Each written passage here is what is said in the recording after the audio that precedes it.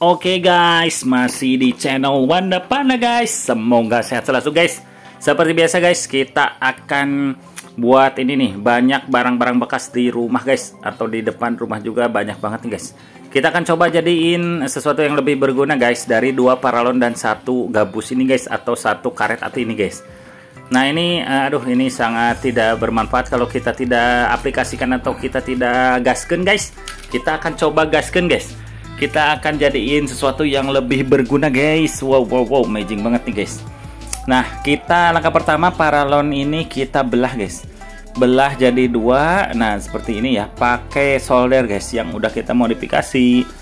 Bisa lihat di video-video sebelumnya guys ini modifikasi cutter ini guys. Ini sangat mempermudah banget guys dalam membelah paralon guys.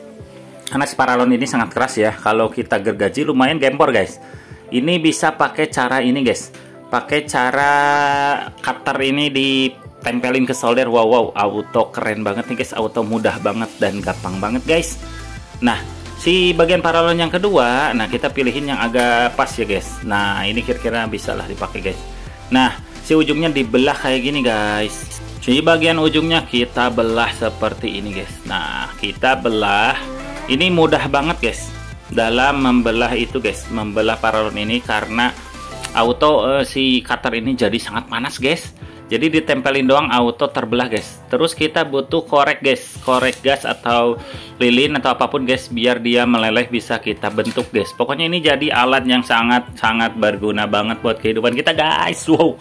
Pokoknya mah sangat bermanfaat guys. Jangan di skip tonton terus. Pokoknya setiap video-video Wanda Panda akan menyajikan ide-ide kreatif guys. Wow, tangan Anda akan lebih kreatif lagi guys. Akan lebih gampang lagi guys dalam membuat sesuatu guys. Nah, kayak gini guys caranya guys. Kita tinggal cuma panasin doang guys. Jadi si ininya di deang-deangkan guys atau kata bahasa Jermannya guys di deang-deangkan ke korek guys. Jadi dia auto lembek guys Nah, kita capit karena ini panas, guys. Kalau pakai tangan itu debus namanya, guys. Nah, kita e, capit pakai tang gini, kita lurus-lurusin, guys. Tinggal kita bentuk-bentuk seperti ini, guys, pakai tangan. Wow, gampang banget, guys. Nah, kita rapiin pakai gunting, guys. Ini karena e, guntingnya gede ya. Jadi gampang banget buat ngegunting-gunting si ujung paralon ini guys. Ini tinggal dirapihin aja guys. Mudah banget gampang banget diaplikasikan guys. Atau dicontoh guys. Wow. Nah udah jadi ya? Ini udah jadi kita lengkungin lagi guys. Ini pakai korek lagi guys. Atau pakai gas lagi guys. Nah dilengkungin kayak gini berbentuk huruf U guys. Karena ini huruf U ini nanti otomatis nanti biar uh, sangat ini ya biar dia ngeplak guys ke paralon yang akan kita sambung guys. Ini dibuat U nya biar sempurna harus tekukannya harus presisi guys. Oh, biar dia tidak gerak-gerak guys.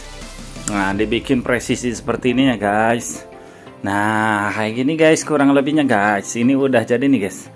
Kita tinggal lem guys ini auto jadi alat yang sangat keren banget guys. Jadi alat auto jadi alat yang sangat uh, amazing banget guys. Yang sangat berguna banget nih. Kita ukur bagian tengahnya guys. Ini kita akan cari tengahnya titik tengahnya di mana guys. Nah ternyata di sini guys kita coba uh, titik tengahnya. Nah kita kasih lem guys. Kita kasih lem di bagian tengah paralon ini guys biar dia center guys. Dan biar dia biar enak dipandang guys. Karena kalau tidak center itu akan kurang enak dipandang guys. Dan tidak artistik guys. Oh pokoknya biar akurat guys. Nah kita tempelin si uh, lem tembak ini guys. Pakai lem tembak auto sangat enak ya dalam mengelem-ngelem guys. Nah kita tempelin kayak gini guys. Dia tinggal di klopin kayak gini. Nih ini udah auto nempel ya auto nempel tinggal kita presin pakai pakai tang guys. Pakai tang aja guys biar dia lebih kuat ya guys atau dia lebih ngeplak. Karena ini nanti pinggiran-pinggirannya kita lem juga guys. Tuh ini gerak-gerak guys. Kalau tidak pakai penjepit guys kita akan jepit pakai tang guys. Nah kayak gini guys. Ini auto presisi banget guys. Auto presisi banget. Ini kita lem bagian pinggirnya. Wow wow wow Pokoknya ini jadi alat yang sangat keren banget guys. Alat yang auto sangat. Pokoknya mah mempermudah banget kehidupan kita guys. Lihat aja guys sampai selesai guys. Ini buat apa alat ini guys? Pokoknya mah banget guys. Nah kita bagian pinggirannya kita uh, pokoknya lem semua ya. Biar dia lebih kuat banget guys. Oh mah magic banget ini guys Jangan lupa juga guys uh, dukung channel kita terus guys biar channel ini lebih berkembang dan lebih sering dalam mengupload-upload ide-ide kreatif lainnya guys. Setiap harinya tentunya akan menyapa teman-teman semua. Nah kita langkah ke selanjutnya. Kita rapihin guys. Ini ada bekasan busa ati atau karet ati guys. Kita rapiin guys. Kita gunting sesuai kebutuhan kita guys Nah ini dirapiin ya. Kita akan manfaatin cuma sesuai dengan alat. Ukurannya dipasin dengan alat yang kita bikin guys. Nah kayak gini guys. Ini kurang lebih uh, sampai 80% mau jadi guys. Nah kita rapiin ya bagian pinggiran-pinggiran si karet ati ini guys. Ini kalau nggak pakai karet ati bisa pakai busa guys. Nah ini pakai karet ati lebih presisi ini dimasukin ke dalam celah ini pakai bantuan obeng guys karena ini sangat ngepres banget guys. Susah untuk masuknya guys. Kita bantu pakai obeng guys. Dicolok-colok ditarik guys. Karena ini lumayan presisi banget. Kalau udah masuk nanti susah keluar dan presisi guys. Pokoknya mah keren banget guys jadinya guys. Wow wow wow. Ini bisa jadi alternatif guys. Ditarik-tarik pakai tang kayak gini guys. Ini auto barang bekas jadi sangat berguna guys. Jadi sangat berguna bagi kehidupan kita guys Nah, kita tarik-tarik kayak gini, guys. Ini kurang lebih mau 90% jadi, guys. Wow, wow, wow. Pokoknya amazing banget nih alatnya, guys. Nah, ini udah ditekan-tekan ke dalamnya, guys. Ini udah hampir mau jadi, guys. Kita gunting-gunting rapihin, guys. Di kita bikin sudut lancip di ujung si karet ati ini, guys, atau busa ati ini, guys. Nah, kita ini lumayan susah, guys, kalau pakai pisau cutter atau pakai gunting ya? Ini karena terbentur si dudukan ininya guys. Nah kita pakai ini lagi guys. Kita manfaatin uh, solder yang kita pasang mau dipakai cutter ini guys. Ini sangat-sangat gampang banget guys dalam mengikisnya guys. Dalam membuat sudut sangat mudah banget karena ini panas guys.